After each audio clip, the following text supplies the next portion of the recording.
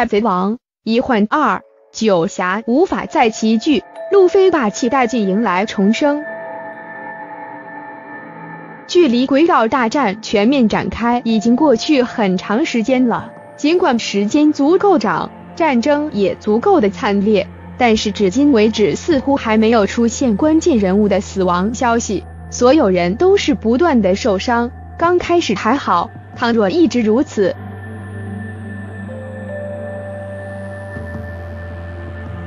那么战争也就失去了它的真实性。毕竟战争的背后永远伴随着死亡。就在我们以为死亡的消息短时间还不会出现的时候，本话就直接传出了三位人物死亡的消息，而且都是关键的人物。下面一起来分析下吧。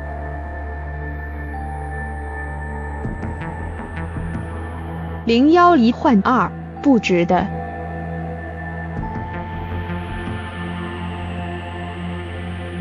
上一话中，我们看到小菊和警卫们去的目的是一致的，前者是为了找看十郎报仇，后者则是为了保护桃之助。于是小菊就在桃之助的附近发现了看十郎。此时的看十郎还在假扮玉田的模样，可谁想原本已经识破看十郎的小菊再次中了招。由于一瞬间的迟疑而被看十郎刺中要害，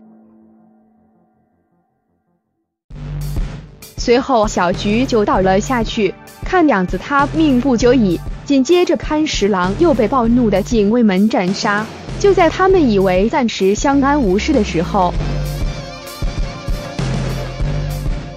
凯多赶到，为了掩护桃之助，警卫们吃下了凯多强力的一击。本来就身受重伤的警卫们似乎很难挺过这一关了。换句话来说，现在勘十郎用一条命换取了九侠两人的性命，这有点不值得了。零二九侠无法再重聚，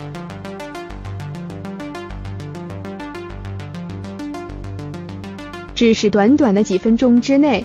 小菊、勘十郎和警卫们就相继倒下。凯多目的非常的纯粹，他必须尽快的除掉桃之助，以绝后患。而九侠接二连三的倒下，似乎也在暗示武士一方的势力快要崩溃了。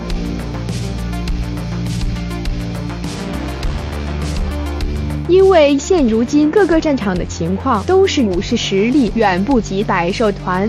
而凯多又打败了路飞，来到了主战场。他的出现可以让武士们成百上千的倒下。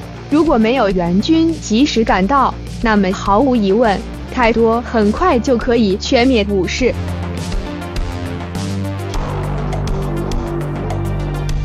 这样一来，九侠可能就没办法重聚一气了。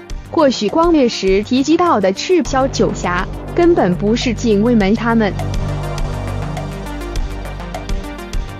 零三路飞霸气殆尽，迎来重生。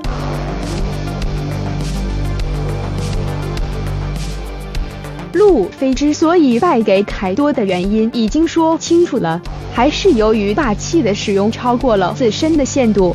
看来路飞只是提升了对霸气的使用，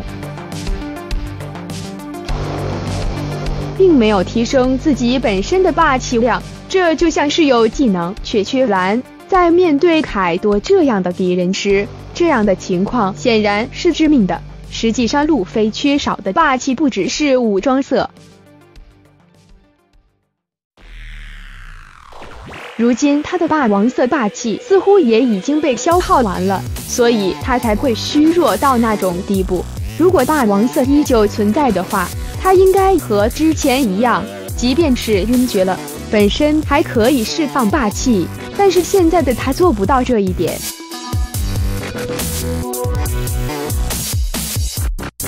或许如今路飞掉入了大海，这肯定会唤醒路飞体内另一种霸气。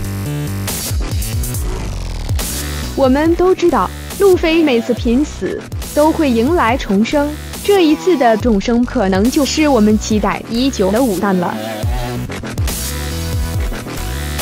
大明哥开四档。打凯多用五道，合情合理。你喜欢这个视频吗？希望你能有一些放松和娱乐的时刻，立刻分享出去，让更多人知道吧，并且不要忘了留下一个喜欢，订阅我。再见。